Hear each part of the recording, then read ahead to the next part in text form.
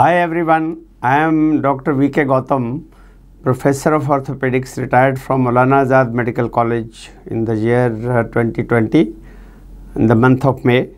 So, I would like to briefly tell you all about my journey to orthopedics. I was born in a uh, small place in Punjab called Jalandhar and did my pre-medical from DAV College Jalandhar. So I was a topper of my batch and that time uh, almost every student who topped they were advised either to join medicine or surgery because other options were very limited. So of course I didn't know much about medicine that time but uh, on the advice of my parents or my well-wishers I appeared for an MBBS entrance examination.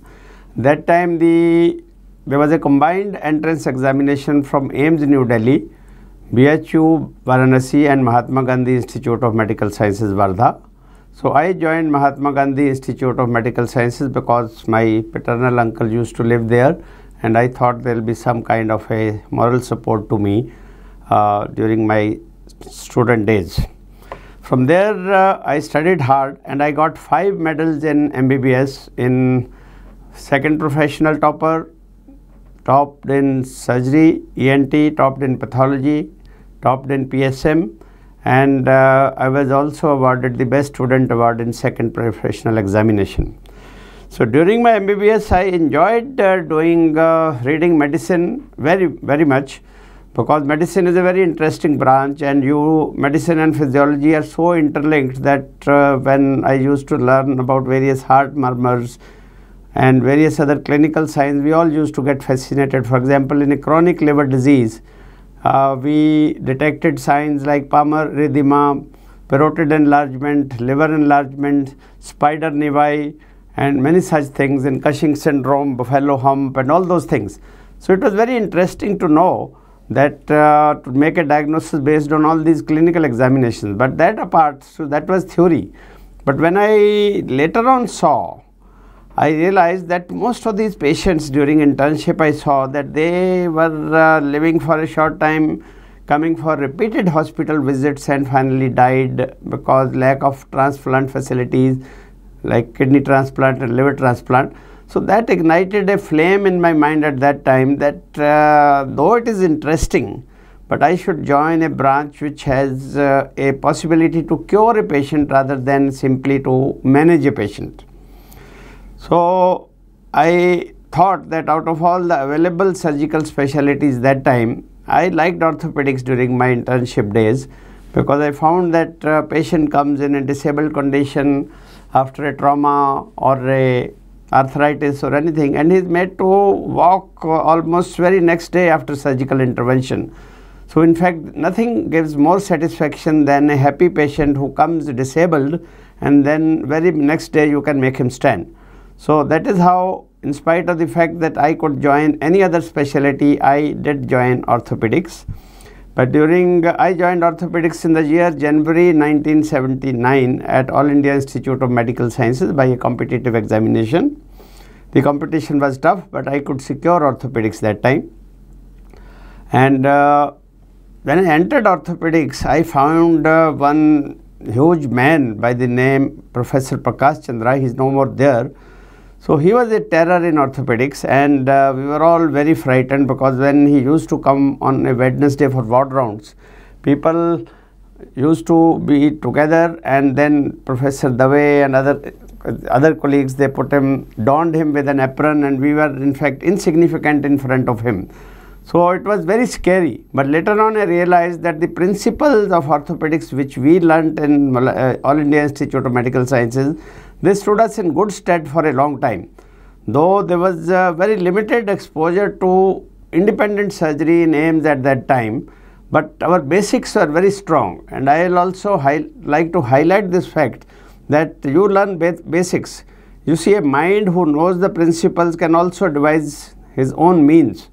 But don't only start cutting immediately and then I joined uh, as a senior resident in orthopedics at PGI Chandigarh because there was no vacancy that time at All India Institute of Medical Sciences and there I realized that senior resident in orthopedics was a big shot. I used to start my round sharp at 8 o'clock every day and students used to be in line and I came with a lot of fresh knowledge from AIIMS and uh, most of the students uh, who now are in UK and others they felt and they told me later on that you came like a whiff of fresh air and infused confidence in all of us because here uh, the surgery is there but the theoretical part was somehow not very strong that time. So I started taking evening rounds and teaching students the basics of orthopedics which everybody still remembers and I also had a sense of satisfaction that as a senior resident I was uh, kind of contribute such a lot to the students uh, training. The next important thing which I'd like to highlight is that uh, after your MBBS when you enter a ward or even after MS orthopedics when you enter a ward you have come after a long training of five and a half years of MBBS and uh, maybe three years uh, as an MS orthopedic subsequently. So, you see a student uh, thinks that he is a big shot, he comes in an apron and he considers himself a doctor.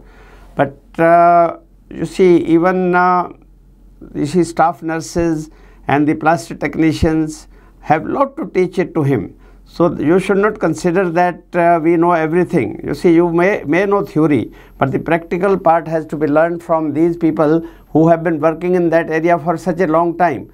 In fact, I remember uh, the plaster technician in All India Institute of Medical Sciences and in PGI Chandigarh. the first one was known as Lakshman and the second was known as Kude Singh in PGI Chandigarh. So I learned how to apply a beautiful plaster because if you have an ego that I am a doctor, how should I learn from a uh, plaster technician, then I think you, you have to kind of mellow down your ego and learn the practical tips from almost everyone. I belong to a family where in my family everybody was either in army or police and uh, my brother used to tell me because he joined NDA 5 years before I joined MBBS and during NDA training you see all these NDA recruits uh, who join uh, Khalak they are likely to become a second lieutenant and later on they can rise to the rank of a generals. But the training is basically done by sepoys, subedars and the lower commissioned officers and they can order them around. So, yeah, they, if, if they have an ego that I am likely to become an officer and I don't have to learn from him, then I think uh, uh, they will not become good officers. So, you must understand that everybody in life has something to teach so, you should uh, have uh, lower ego. You have to learn how to tolerate, lower your ego and learn from almost everything. Subsequently, I joined uh, Maulana Azad Medical College after some stint at Ram Manohar Hospital in New Delhi.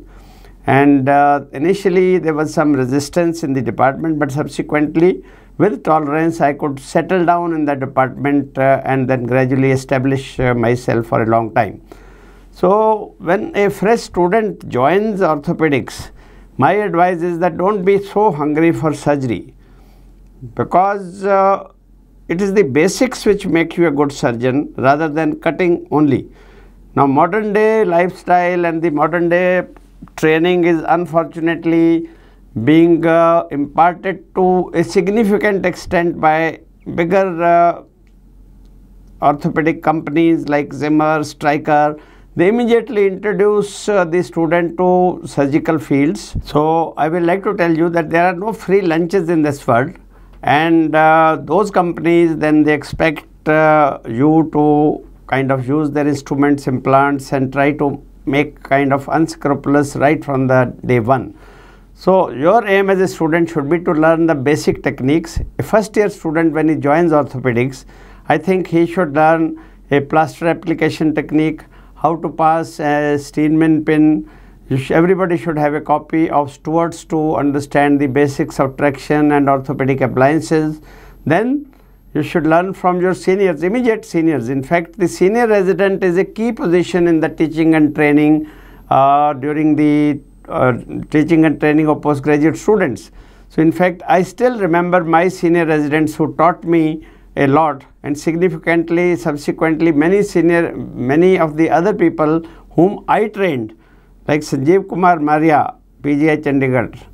So I like to hi highlight the importance of a senior resident during your PG training. Now senior resident is a key link between the consultants and the residents, junior residents, first or second year junior residents, because senior residents are actually present around the clock with you 24 hours and they can teach and train you. I st still remember my senior residents and uh, people whom I acted as a senior resident, they still remember and touch my feet. In fact, they appreciate or regard me more than the consultants because we were together. You see, there is a spirit of camaraderie which dwells amongst the residents because they are continuously present together.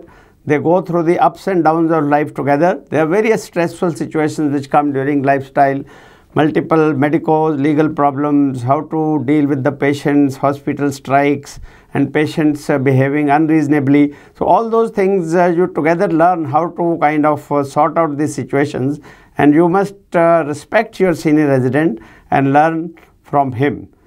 So, with this, I would like to congratulate all the new entrants to orthopedics who are listening to my talk that uh, they have joined a beautiful specialty and uh, I think uh, you will be more than satisfied during your career if you sincerely follow the advice which I have been giving you. I'll also like to mention something about learning orthopedics or learning any subject for that matter. In our ancient wisdom, there are three types of learning techniques which are described. I'll have to use Hindi language for that. The first language is Shrutmay Pragya. Pragya is a knowledge. So, Shrutmay means that means Suni Sunai. Somebody has told you something and you blindly start believing even if it is not your experience. The second is Gyanmay Pragya. Gyanmay Pragya means when you read a book and then you consider this as a gospel truth and blindly follow him always. You see, that is somebody else's knowledge, not your knowledge. And the last is experiential wisdom, which you have learned from your own experience. I'll give you an example. You see, if there's a burning flame, a candle, and uh, a child uh, is told by his mother that don't touch this candle, it is very hot. The child will understand for some time, but till the time he actually touches the candle and burns his finger, then only he will remember lifelong that this candle is hot. So this is what you have to do. You have to touch that area. You have to experience all these things what somebody is teaching and prove whether it is wrong or right because that is how the science will also progress. Somebody may have written something wrong in the books.